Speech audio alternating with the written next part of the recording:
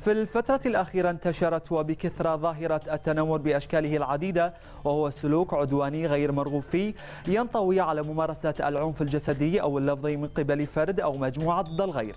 واليوم نخص بالذكر ظاهرة التنمر الإلكتروني وتسليط الضوء عليها فقد شارك المغردون عبر هاشتاج التنمر الإلكتروني بآرائهم المختلفة ونصائحهم للحلول دون انتشار الظاهرة والحد من أضرارها ومعاقبة من يسلكها لحماية أطياف المجتمع بمختلف أعمارهم.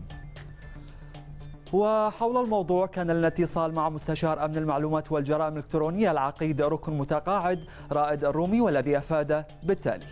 التنمر الإلكتروني هو باختصار الإساءة للآخرين عن طريق الإنترنت ومواقع التواصل الاجتماعي سواء كان بالسب أو القذف أو التشهير بالسمعة والسخرية أو بالابتزاز بأنواعه واليوم للأسف زادت خطورة هذه الظاهرة على الأطفال والمراهقين نظرا لسرعة انتشار الإساءة والسخرية عبر مواقع التواصل الاجتماعي.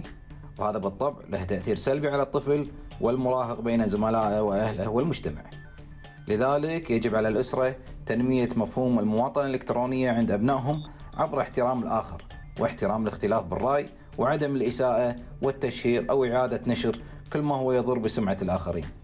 كذلك أوصي الأسر على حث أبنائهم على عدم إضافة الحسابات المجهولة وتبادل المعلومات الشخصية مع الأقرب وحظر أي حساب يحاول إزعاجهم.